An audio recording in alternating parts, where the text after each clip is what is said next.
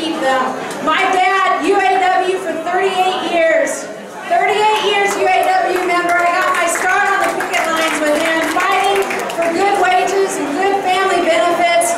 And we're going to keep fighting here. There's an economic development proposal in the works to try to bring 500 more jobs to this facility. And we're going to fight really hard in the state of Maryland to make sure that we support good jobs here in Washington County. We're incredibly